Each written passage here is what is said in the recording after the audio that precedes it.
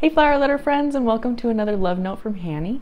I hope that you are having a wonderful day and that your um, fall is still going well.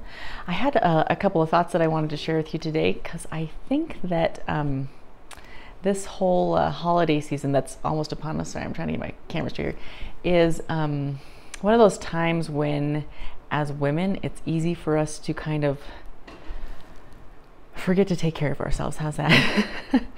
because we're constantly looking around and taking care of all those around us, which is a wonderful quality, and and such a wonderful thing about um, being a woman is is being able to have that uh, ability to look around and see needs and fill needs.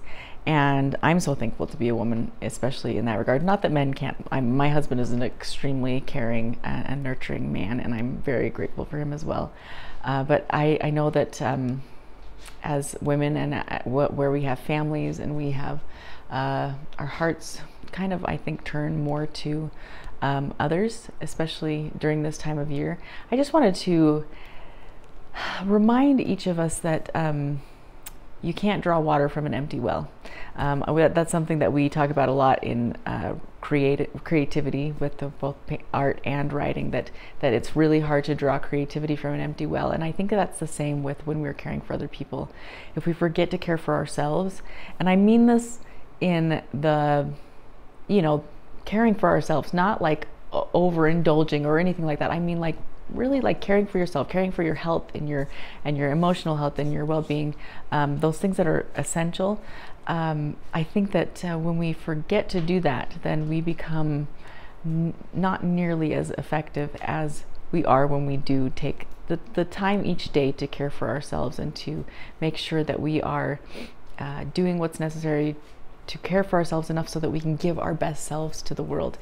And I just wanted to share that with you. There's there's this uh, when I was in college, I had a boss. Um, I, I worked at a bridal shop.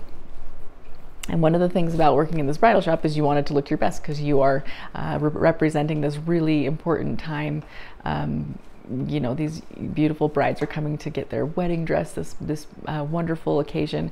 And so you wanted to look your best to kind of represent this this uh, specialness of the occasion.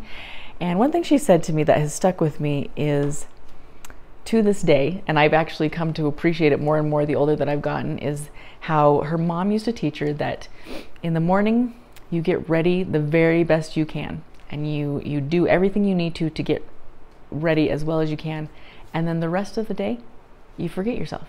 You forget uh, you forget about yourself and and and that getting ready.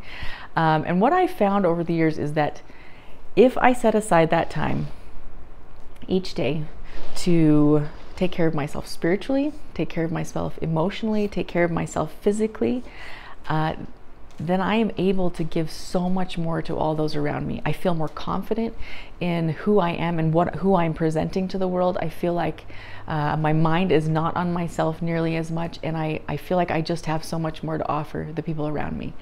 And that's so that's just one thing that I wanted to share with you.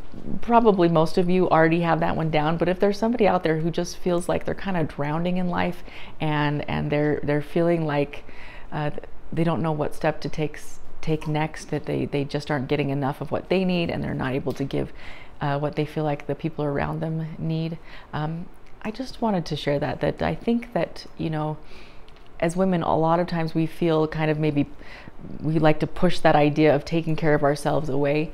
But in the long run, it is the best gift we can give to the people around us. When we take the time to take care of ourselves, then we can give our best self to the people around us. And so, as the holidays start coming and you start feeling overwhelmed, I know I feel really overwhelmed in the holidays. Um, take that little time, that little extra time to care for yourself and to make sure that your well is replenished so that you can be the best self that you can be this holiday. And in, in return, enjoy the holidays more than you probably ever have if you haven't already been doing this already. So, anyway, that's the, the thought that I wanted to share with you today. That's the little bit of love I wanted to give to you today is take care of yourself and and and then see how much more you have to give the people around you. And I hope you have a wonderful day and we will talk to you next time. Take care.